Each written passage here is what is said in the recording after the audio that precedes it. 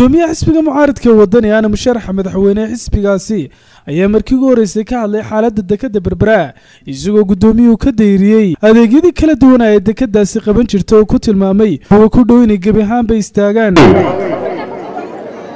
Waa ganacsiga ganacsiga somalilan nidaamkaanu caalamo dastuurku xusaya waa ganacsiga suuqa xorta ah. Somalilan waxaynu maanta ka waraynaa inuu ragaadiyey sicirbaar inuu xumaaday adeegii dekadda oo uu ku dhow yahay in la xidho waxaynu ka warqabnaa in ganacsigii istaagay oo maanta ganacsatadu ay ku nool yihiin raasamaalkoodii hore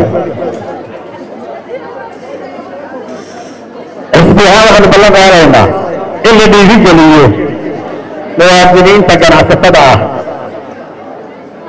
in lagu noqdo cashuuraha haddii ilaahay ka dhigo. In la xoojiyo wax soo saarka gudaha iyo warshadaynta.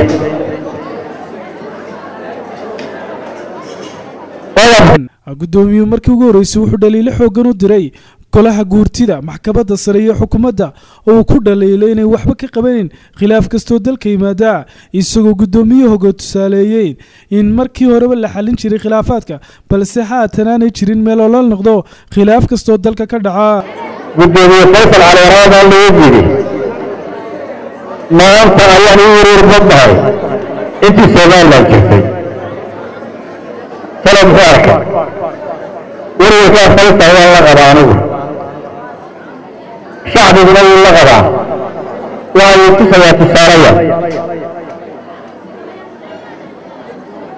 marka dib yimaado somalilan ama khilaaf yimaado waxaa markiiba soo gurman jiray oo xallili jiray xukuumadda markaa jirta ama guurtida ama ama maxkamadaha maxkamadda sare.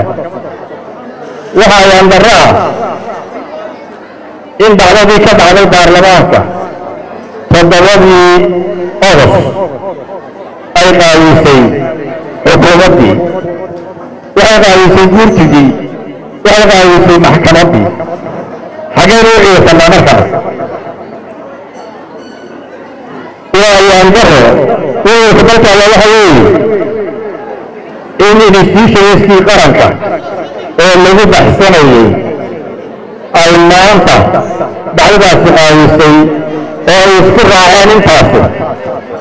Iyagoo arkaya oo indhahooda ku arkaya khalad ama cadaalad darro ama sharci darro gudoomiye cabdiraxmaan maxamed cabdilaahi ciro waxa uu fariin u diray komishanka doorashooyinka somalilan. Waxaan soo jeedinaynaa in la ilaaliyo madax bannaanida guddiga doorashooyinka qaranka.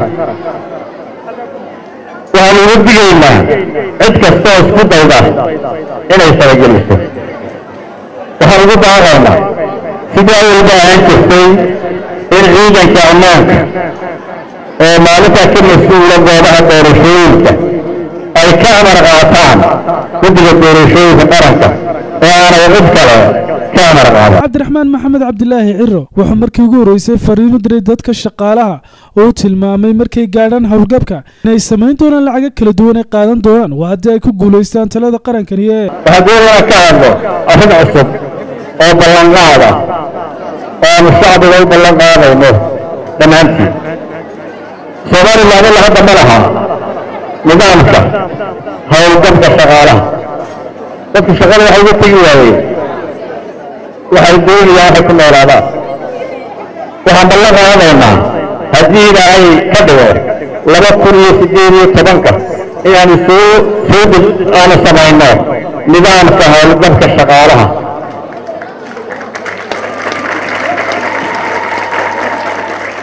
arrintaasi waxay fursad siinaysaa in dadku ku dhiiradaan inay shaqada ka tagaan waxay kula fursad siinaysaa inay soo galaan shaqada dhallinyaro fara badan haddii ilaahay ka dhig walaalayaal xisbigaynu tarsanaynaa laba xisbigaynu tarsanaynaa midna waa oday midna waa kulmiye. Odayd waxba ka sheegi maayo laakiin kulmiye waa xisbiga talada haya maanta.